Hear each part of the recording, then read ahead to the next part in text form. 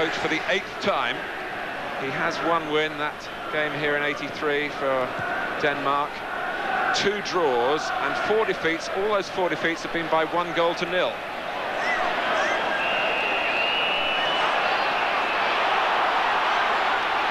Gascoigne making his own luck.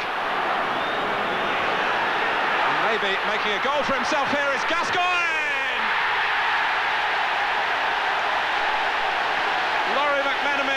The applause.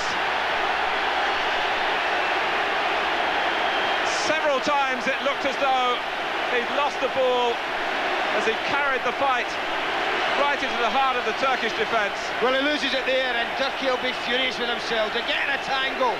That's a great bit of attacking the ball from Ince, but the rest is all about Paul Gascoigne's coolness, composure, and finishing. Look at that, look at that tackle there. That keeps the ball in the Turkish penalty area. A little drop of the shoulder, and he was never going to miss this, was he? His third England goal, he said... In a position where I felt he got in too few times against Norway. That's past that 18-yard line, crossing the ball from more important and dangerous areas. Oh, another delightful piece of work from Gascoigne. Raiding through right, Shearer coming in, coming in now! No more than England deserve. They're in sparkling form here. And the partnership that's had to ask plenty of questions over the past few days is coming up with some answers now. And that's an absolutely brilliant goal. Look at this little flick from Paul Gascoigne and rights away. They're not going to catch him. But look at Shearer at the right of the screen. He's behind the defender there. But watch the way he dives inside near post. He knows where it's going. He's in behind the defender and there's nothing he can do. That's a great goal.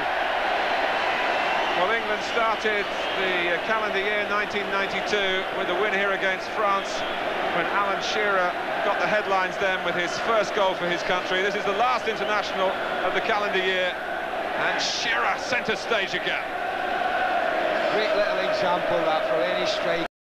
Gascoigne producing the skill and artistry, and people like Ince and Palmer doing the dog look, if you like. It was feeding time then, wasn't it?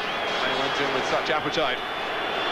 Now, Pearce again. And Gascoigne having a look as to whether he might go to the other side, the near side as we look. Wouldn't surprise me. And that angle looks not a bad little area for him there. An opportunity for England to go three in front. It's Pearce.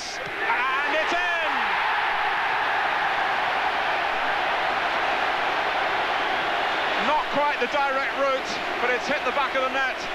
And that's all that matters for England, who have the luxury of leading under Graham Taylor by three goals to nil. Not quite sure who this hits, but the one thing it is, it's on the way, isn't it?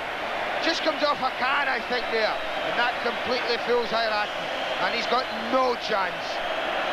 They really can go on now, England, and enjoy the rest of this game.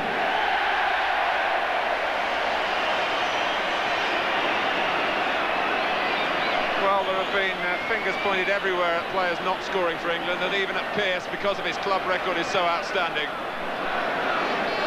But England are finding the right mood in front of goal now, and they're having a bit of good fortune along the way as well as that goal showed, but with the power in the left foot of Pearce, it's going to take a lot of stopping, and nothing that Turkey could get in the way could prevent the ball flying on and up into the roof of the net.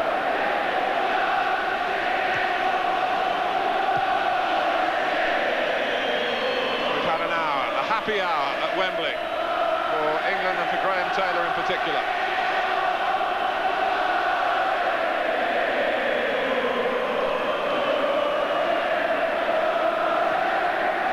Not often an international football manager can sit back and relax at any time in any game, but I do believe that that's exactly what Graham Taylor can do now. Just relax and encourage his side to go for more. Here's Walker. Shearer Gascoigne, he's going to walk it in. It's wonderful stuff for England. And everyone joins in with Des Walker opening up Turkey here.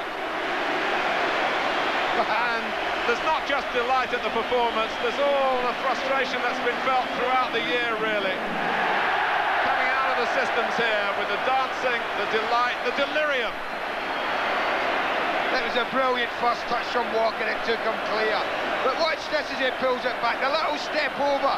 It is from Shearer, and there's Gascoigne again. Quite brilliant football from England.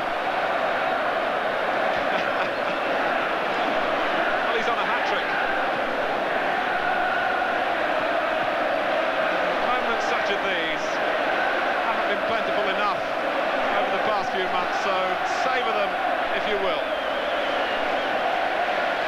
I'm delighted because it does show you that this England side have encouraged to play the ball, play into midfield, to use the midfield area. But they can't